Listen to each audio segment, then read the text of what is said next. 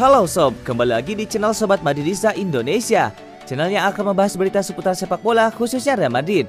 Buat kalian yang baru bergabung, jangan lupa untuk subscribe dan aktifkan loncengnya Agar kalian tidak ketinggalan informasi lainnya dari Sobat Madridista Indonesia. Selamat menyaksikan Hala Madrid.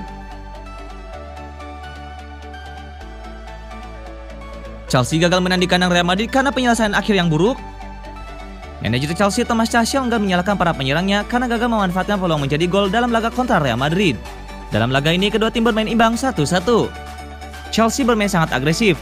Dari sejumlah tembakan tepat sasaran, The Blues mencatatkan 5 kali percobaan, sedangkan Real Madrid hanya satu kali yang berbuah gol. Terlepas dari statistik tersebut, Tasha menilai kegagalan timnya mencetak lebih dari satu gol bukan karena penyelesaian akhir yang buruk. Kami bertahan bersama sebagai satu tim dan semua penyerang memainkan peran mereka.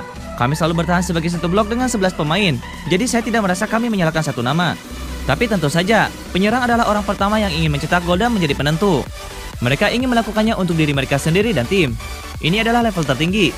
Terkadang, jika Anda memiliki waktu setengah jam sebaik yang kami miliki, dengan peluang dan peluang setengah, Anda menginginkan lebih banyak ketenangan dan ketepatan dalam mengambil keputusan, membuat dan menyelesaikannya sendiri. Kata Tashel, lebih lanjut, Tashal menyebut bahwa timnya cukup dibuat kelelahan di markas Real Madrid karena hanya memiliki waktu dua hari kosong sejak laga terakhir mereka akhir pekan kemarin. Kami menderita secara fisik karena kami hanya memiliki dua hari jeda. Anda tidak bisa melakukan pergantian pemain lima kali di Premier League. Jadi itu cukup menuntut secara fisik. Hari ini Anda bisa merasakannya di akhir pertandingan. Kata Tashel.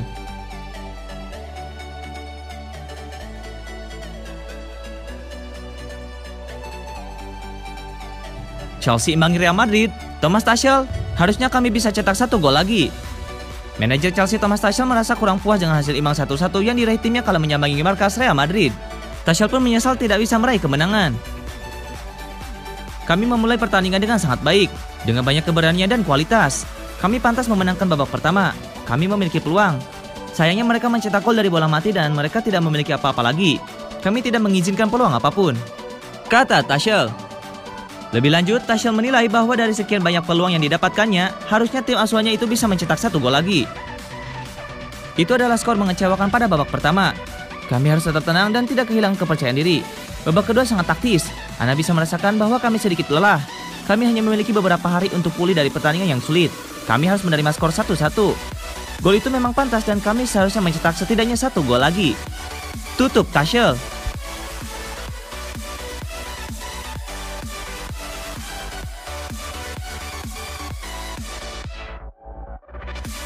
Lagi-lagi gagal tuntaskan peluang emas jadi gol, Timo Werner marah besar. Striker Chelsea Timo Werner marah besar karena gagal memanfaatkan peluang emas jadi gol dalam partai kontra Real Madrid. Hal tersebut diungkapkan oleh Thomas Tuchel.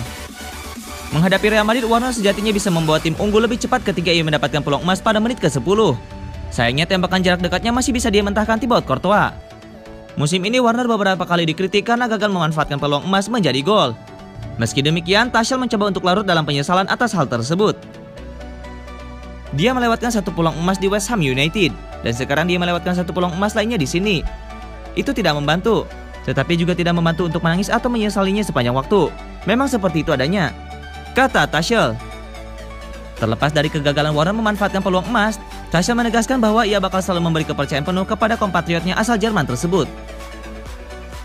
Ada jutaan orang yang memiliki hal-hal yang lebih sulit untuk dihadapi daripada peluang yang Anda lewatkan. Jadi ini adalah hal baik tentang olahraga. Tidak ada yang peduli besok. Hari ini kami sedih, kami marah saat ini. Ini normal. Dia marah, dia mungkin kecewa. Besok dia mendapatkan libur dan keesokan harinya dia harus mengangkat dagunya. Dia orang profesional, orang top, dia bekerja keras. Dia ada di posisi dan sejak saat itu kita melaju. Kami tidak akan pernah berhenti mendorong. Kami tidak akan pernah berhenti percaya dan saya memiliki perasaan bahwa semua orang menerima situasi seperti ini dan sebagai striker itu mudah. Anda mencetak gol pada pertandingan berikutnya, Anda tidak akan membicarakannya. Tutup Tashel.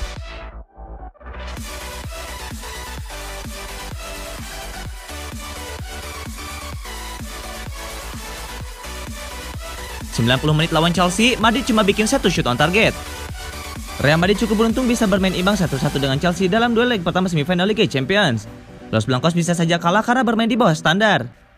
Bermain di kandang, Real Madrid justru kebobolan terlebih dahulu lewat aksi gemilang Christian Pulisic di menit ke-14. Pertahanan Los Blancos dikacaukan serang balik Chelsea. Untungnya masih ada Karim Benzema yang bisa mencetak satu gol balasan di menit ke-29. Setelahnya laga terkunci dan tempo permainan terus merosot. Nahas bagi Madrid, gol Benzema itu sekaligus jadi satu-satunya shot on target mereka dalam 90 menit bertanding. Ini jadi bukti bahwa permainan skuad Zidane masih jauh di bawah standarnya di laga ini. Dari 9 kali percobaan hanya satu yang tepat sasaran. Madrid tidak banyak mengancam Chelsea yang bertahan dengan sangat rapat di laga ini. Meski hanya satu gol, setidaknya gol itu sekaligus jadi catatan istimewa bagi Benzema. Striker Prancis ini mencatatkan namanya dalam buku rekor Liga Champions. Ini adalah gol ke-71 Benzema di Liga Champions. Dia menyamai Torrehan Raul Gonzalez di peringkat 4 daftar top skor sepanjang masa UCL. Benzema hanya kalah dari Robert Lewandowski, Lionel Messi, dan Cristiano Ronaldo. Namun mengingat pentingnya gol-gol Benzema, bisa saja dia segera menyalip Lewandowski.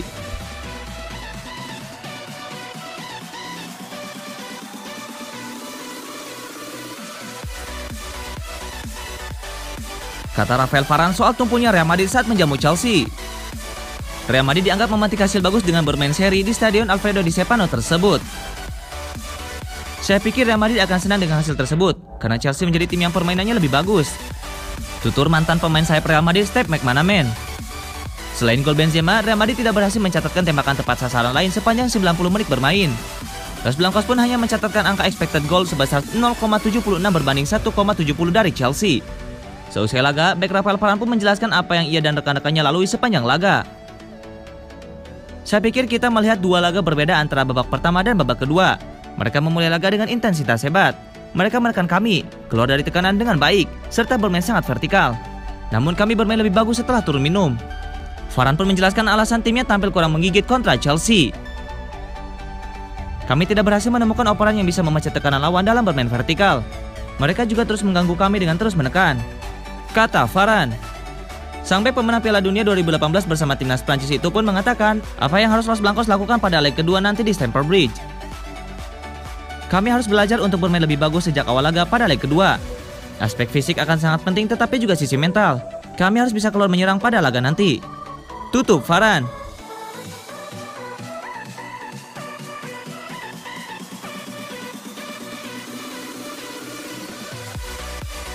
Ini perasaan Eden Hazard setelah Real Madrid ditahan imbang ex timnya Chelsea di Liga Champions. Untuk kali pertama sejak henggang ke Real Madrid, Eden Hazard bertemu ex tim yang membesarkan namanya Chelsea. Eden Hazard sendiri tidak bermain sebagai starter. Dia baru masuk pada menit ke-66 menggantikan Vinicius Junior. Lantas bagaimana perasaan pemain asal Belgia itu bersua Chelsea?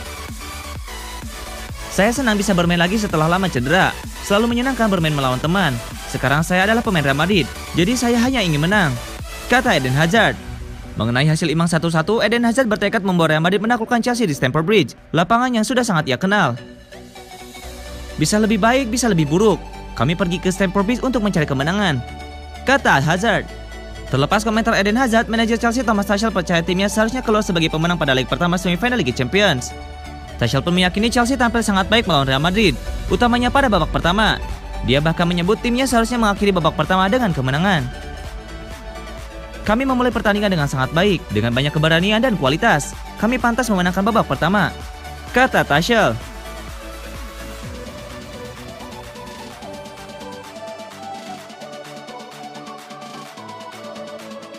Imbang lawan Chelsea, Zidane akui Real Madrid telat panas. Pelatih Real Madrid Zidane memberikan komentar terkait hasil kurang maksimal yang diraih timnya saat menjamu Chelsea pada leg pertama semifinal Liga Champions. Usai pertandingan, Zidane menilai timnya telat panas di laga kali ini.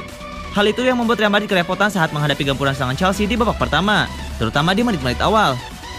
Meski demikian, Zidane menganggap hasil ini tidaklah buruk bagi timnya, mengingat lawan yang mereka hadapi kali ini adalah Chelsea, yang tengah tampil menjanjikan sejak ditangani pelatih baru mereka Thomas Tuchel. Kami jauh lebih baik di 45 menit kedua. Kami jauh lebih terorganisir. Mereka memulai dengan kuat dan cepat, tapi saya pikir itu hasil yang adil. Kami ingin menekan satu lawan satu. Tetapi ketika Anda tidak melakukannya dengan baik, segalanya menjadi sulit.